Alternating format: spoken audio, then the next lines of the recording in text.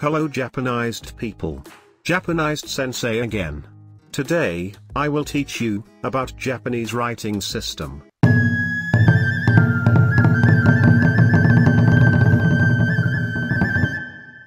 Learning how to speak Japanese is not so difficult.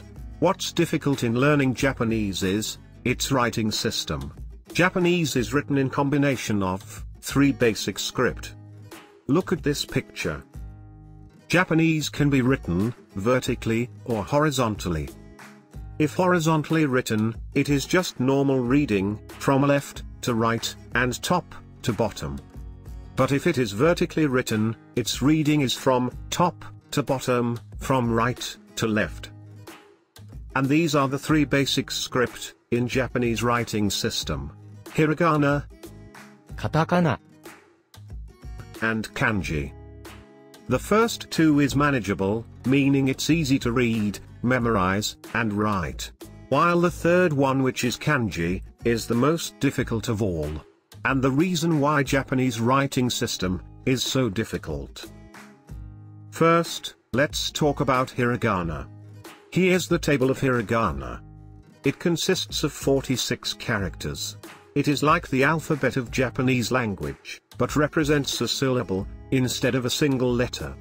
As you can notice, the characters are curvy, in shapes.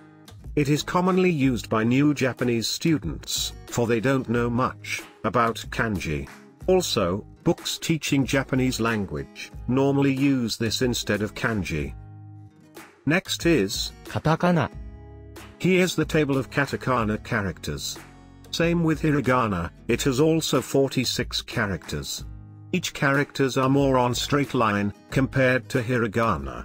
Katakana are used on words imported from another country, such as video, test, cake, and etc. Lastly, the kanji. This is the most difficult part of Japanese writing system, with over 40,000 kanji characters. Even Japanese people are sometimes confused with kanji. Also, kanji are imported from Chinese writing system.